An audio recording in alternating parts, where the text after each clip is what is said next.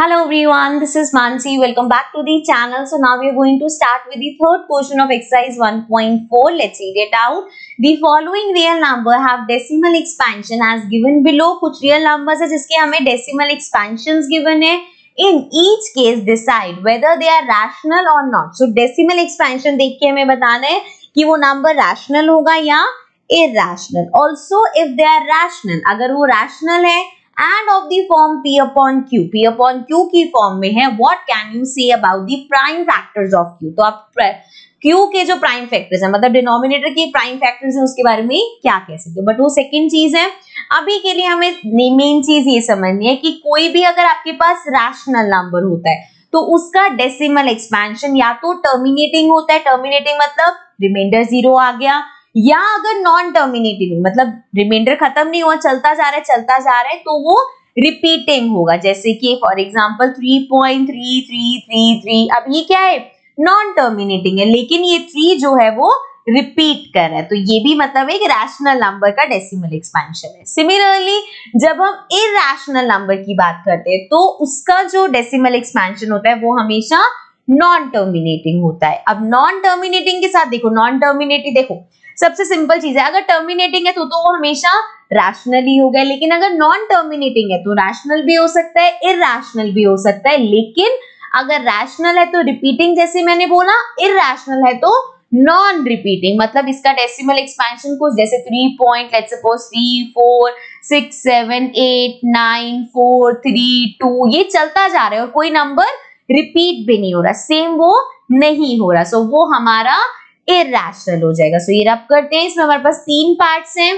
देख लेते हैं। फ़र्स्ट पार्ट है 43.123456789 नाइन पे आगे रुक गया। अगर आगे डैश डैश होता तो मतलब ये आगे अभी चलेगा। लेकिन अगर ये नाइन पे आके रुक गया तो मीन्स यहाँ पे टर्मिनेट हो गया। So this is terminating also आप पूरा इसको यहाँ पे मेंशन करोगे। Since the decimal expansion is terminating, we can say कि ये rational किसका होगा? Rational number का होगा। ठीक है? ऑल्सो हम बोला था अगर रैशनल नंबर होगा और पी अपॉन क्यू की फॉर्म में होगा तो क्यू के प्राइम फैक्टर्स के बारे में आप क्या कहोगे? तो अभी फ़र्स्ट और सेकंड क्वेश्चन में हम यही देखते हुए आए हैं कि जो भी हमारे पास टर्मिनेटिंग होता है, उसके जो हमारे पास क्यू नीचे डिनोमिनेटर होता है वो या तो two raise to the power m की फॉर्म में होगा या five raise to the power m की फॉर्म में होगा या two m into five n की फॉर्म में होगा। ठीक है?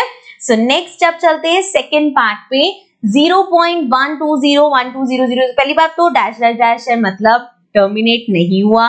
तो this is non terminating also अब देखो नॉन टर्मिनेटिंग रैशनल भी हो सकता है इरेशनल भी हो सकता है। अब यहाँ पे ये रिपीट भी नहीं हो रहा, क्योंकि ये वन टू ज़ीरो था।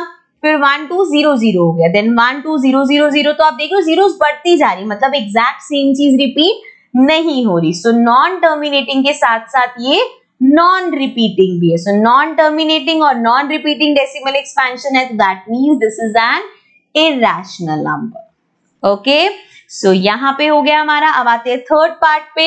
So forty three point one two three four five six seven eight nine लेकिन इसके ऊपर है बात तो पहली बात तो ये खत्म नहीं हुआ रिपीट चलता जाएगा। सो ये हमारा है नॉन टर्मिनेटिंग ठीक है, क्योंकि टर्मिनेट तो नहीं हुआ। अब नॉन टर्मिनेटिंग के साथ ये पूरा चीज़ बार बार रिपीट होगी। So non terminating but repeating so अगर नॉन टर्मिनेटिंग है और रिपीटिंग है सो दैट मीन्स ये एक रैशनल नंबर का डेसिमल एक्सपेंशन है। ठीक है? समझ में आया? ऑल्सो अगेन इसमें क्यू के बारे में अगर आपको बोलना होगा तो हम बोल सकते हैं इसके जो प्राइम फैक्टर्स होंगे, वो या तो two raise to the power m की फॉर्म में होंगे, या five raise to the power n की फॉर्म में होंगे, या इनका कॉम्बिनेशन होगा। ओके सो ये था हमारा last question of exercise 1.4 with this we have completed the exercise also last exercise थी इस चैप्टर की सो so हमारा चैप्टर होता है यहाँ पे कंप्लीट आई होप आपने पूरा introduction plus exercises अच्छे से देख रहे होंगे but still there is any doubt any query you can mention it in the comments below and if you haven't subscribed the channel please make sure to subscribe it now bye bye for now